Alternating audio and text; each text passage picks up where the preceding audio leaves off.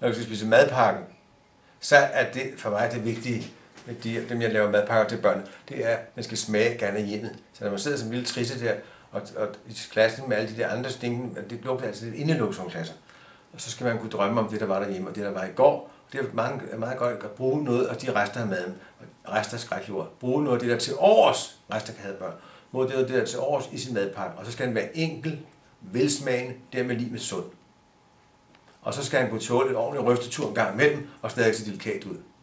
Og så skal man blander man noget godt brød, noget godt pålæg, og så siger man 80-20, det vil sige ikke for meget kød i, det lugter også masser af meget med grønt. Og der er ikke noget, der er bedre, hvis man bare tager en, nu kommer grønkålen, nu skal ind i grønkål. Kommer grønkål, så lægger man et stykke grønkål ned på brød, og så lægger man et pålæg på det, og så pakker man sammen, så kan man få børnene også ned. Helt tiden gør det delikat, men det er med at snyde, det er med at sige, at det er noget andet, end det der. Lad det være enkelt, velsmagende, og så det ud veltilberedt. Så det ser lidt delikat ud, når de kommer ned, eller når børnene skal spise det, som når man har stået hjemme og pakket det ned i kassen. Og så igen det der vigtigt, minderne. Alle, vi kan alle sammen godt lide ligesom det der, øh, hvad hedder sådan noget, kan du huske dengang? Det er dejligt. Og så husk, madpakken skal smøres sammen med børnene. Den skal ikke altid smøres ud i køkkenet. Peter, vil du have det? Der Louise, hvordan vil du have den? Nej, nej, nej. Man sætter dem op på rækker, de små møger, og så taler vi om, hvad vi godt kunne tænke. os, Og så drømmer vi. Det vi ikke kan opfylde den dag, det gør vi næste dag.